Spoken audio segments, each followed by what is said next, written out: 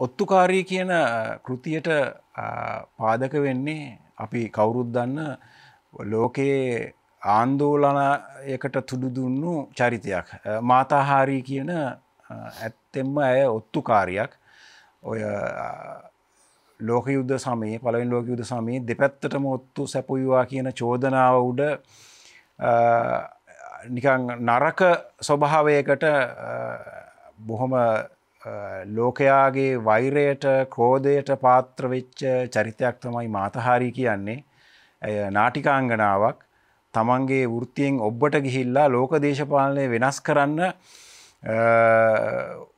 ඔත්තු සැපීමේ වරදට මුළු ලෝකයේම ගර්හාවට ලක්වෙච්ච මේ චරිතය දිහා පවුලොකොයියෝ ඉතාම සියුම් විදිහට මානුෂික දෘෂ්ටියකින් බලනවා.